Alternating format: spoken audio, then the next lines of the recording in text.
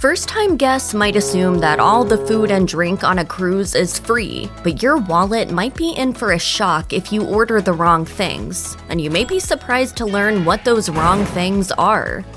When you book open dining, you can rock up to the main dining room whenever you want, but it doesn't mean you're guaranteed a seat right away. If you choose to eat at peak dinner time, you might end up waiting 30 minutes to an hour, which may cause you to miss a show. But most cruise lines have online reservation systems that let you book tables in the main dining room before you embark on your cruise. Royal Caribbean, for instance, has an app with which you can make reservations for specialty restaurants and open dining. You can also book tables once you get on board. We'd recommend doing this on the first day, as prime slots fill up quickly. If you don't want to make reservations, consider traditional dining. When you pick traditional dining, you have a set evening dining time, and you'll always be seated at the same table with the same group of fellow diners. While some don't find this flexible enough, it's great for those eager to make friends with people they otherwise may never have met.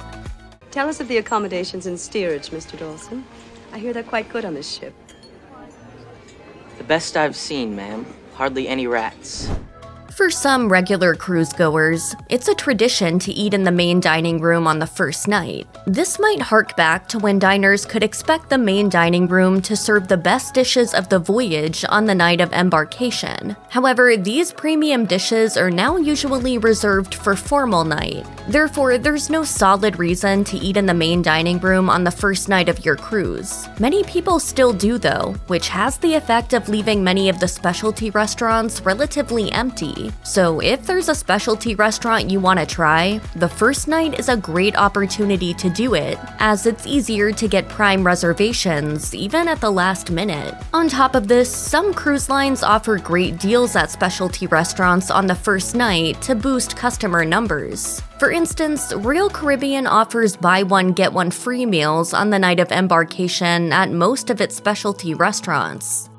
Once upon a glorious time, everything in the main dining room was included in the cost of your cruise. However, with the rising price of ingredients, you should no longer expect that all dishes on the menu are free. In fact, some dishes in the main dining room now come at an extra cost. These are usually meals that contain prime ingredients, such as lobster or certain cuts of steak. So if you have expensive taste, prepare to incur extra charges at mealtimes. You can also visit specialty restaurants on board cruise ships that you'll need to pay to dine at. That said, you'll still be able to sample almost everything on the main dining room menu without being charged for it. Therefore, it's the perfect opportunity to try dishes that you might not normally order. Want to order an extra entree for the table or double up on dessert? This usually won't be a problem.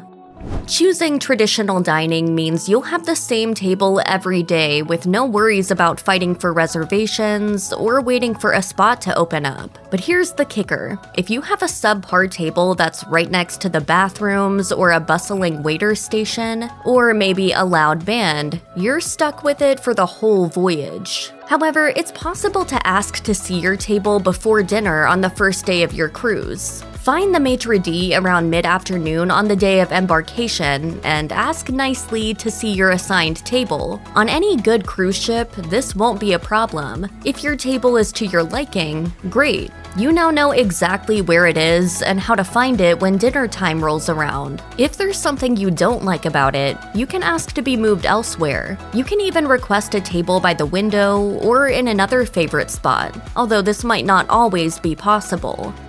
You don't want to show up at the dining room only for someone to ask you to return to your cabin and change because you aren't wearing the correct attire. All cruise lines have their own dress codes, so you should learn yours before you go to make sure your wardrobe matches up. While some lines expect you to dress smarter than others, there is plenty of leeway. On an average night, it's fine to wear a nice t shirt and jeans as long as they aren't distressed. Just avoid wearing anything extremely casual for dinner, such as shorts or pool wear. And for goodness sake, put your shoes on. Diners who turn up barefoot or in flip flops will usually be turned away. Even on formal nights, the dress code may be more casual than you think. Gowns, jackets, and ties aren't necessary, although it's fine to go this dressy if you want to. Instead, think dress shirts and other collared shirts, slacks, blouses, cocktail dresses, and sundresses. Cruise lines are extremely flexible with catering for allergies or dietary requirements, but you need to tell them in advance. Whether you're vegan, allergic to shellfish, or you keep kosher, this won't be an issue when you give a fair warning. However, if you show up to the dining room on the first night without having let anyone know, you might have more of a struggle. I, I think you have food allergies. Oh. Oh. Oh! Wow. What? Luckily, it's easy to inform your cruise line of dietary requirements. There's usually a clearly marked place to do so when booking online. If you missed it, just give your line a call or write an email, and a member of staff will put a note on your booking. What's great about having a particular dietary requirement is that you'll often get special dishes made for you off menu. Good chefs are excited to try new things and work within confined parameters so you may end up with extra special dishes that make you the envy of your table mates. It might not occur to you to ask for dishes that aren't on your ship's menu, but you'll be limiting yourself if you don't do so. Cruise lines don't exactly have secret menus, but there are many dishes that you can order off menu. So if you don't find anything that takes your fancy, don't be afraid to ask. There are plenty of options, but they vary between cruise lines. For instance, on Regent Seven Seas cruises, chefs can cook you any dish you desire as long as they have the ingredients on board. Just provide them with the recipe and some advance notice, and they'll do the rest. This is especially great news for picky eaters. Many people avoid getting room service on cruises because of the delivery fees. But while it's true that you'll get charged for having food delivered to your room under most circumstances, most cruise lines will deliver continental breakfast to your room free of charge. You'll feel as lucky as a leprechaun. Room service. So, if you're happy to dine on items such as toast, pastries, fruit, cereal, and yogurt, you can enjoy them from the comfort of your cabin at no extra charge. Coffee and tea are also included under the continental breakfast umbrella, so you won't have to go without your caffeine fix. If you decide you want a more substantial breakfast later in the morning, there's nothing stopping you from hitting up the buffet or dining room as well.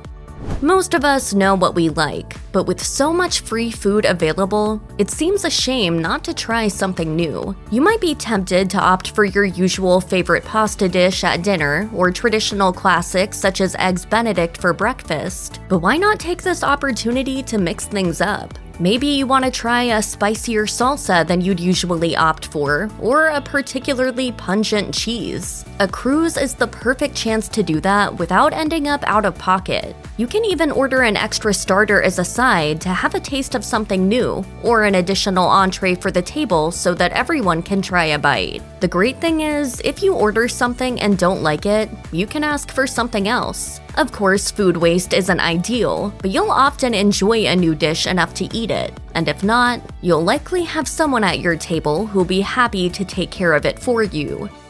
If you have your heart set on going to a particular show, it's important not to let dinner time run into showtime. It's all too easy to show up to the dining room late and either miss the start time of your show altogether, or turn up just in time to get the worst seats in the house because all the good ones were already taken. This can be a particular problem if you have open dining rather than a fixed dining slot, as you might end up having to wait for a table. One way to avoid missing a show is through careful planning.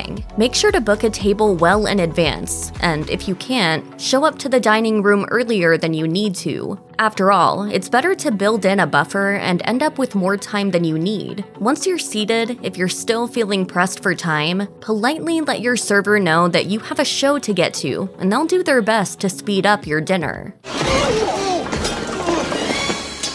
Check, please. Table one. It's completely possible to find food any time of day or night on a cruise ship. However, you might not always be able to get exactly what you want when you want it. By the time afternoon comes around, you can usually find slices of pizza and cookies in abundance, but more nutritious snacks aren't always readily available. Of course, there's nothing wrong with snacking on indulgent items if you feel like it, but sometimes all you want is a banana or a box of raisins after a hearty breakfast lunch. The solution? Take advantage of the breakfast buffet to stock up on healthier snacks. Load up on fruit and granola bars and stash them away for later. If you have a mini fridge in your cabin, you could even store perishables such as yogurt. Armed with these snacks, you'll never go hungry or regret eating a bag full of sugary candy right before dinner.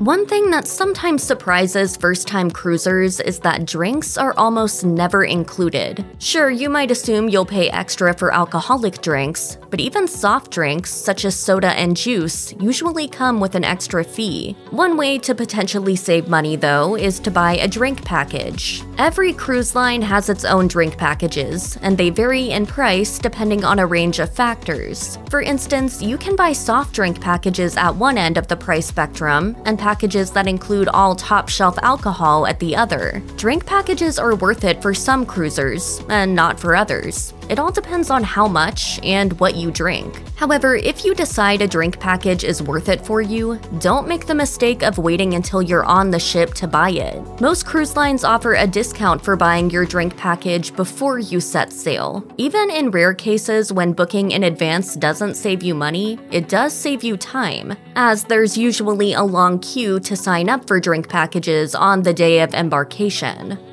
You might end up in the main dining room for dinner on most nights of your cruise, but many people forget that they can usually also eat breakfast and lunch in the dining room. While it might often suit you to grab a quick buffet breakfast or a relaxed cafe lunch, you'd be remiss not to get breakfast and lunch from the main dining room at least once or twice on your cruise. Dining room breakfasts are much more leisurely affairs than buffet breakfasts. You can find a range of options, but they tend to include classics, such as American pancakes, omelets, and French toast. Lunch follows a similar pattern to dinner, with appetizers, entrees, and desserts available. You don't have to order all three if you prefer a lighter lunch, but it's a great choice if you like a big lunch followed by a smaller dinner, or if you just want to go all out on vacation.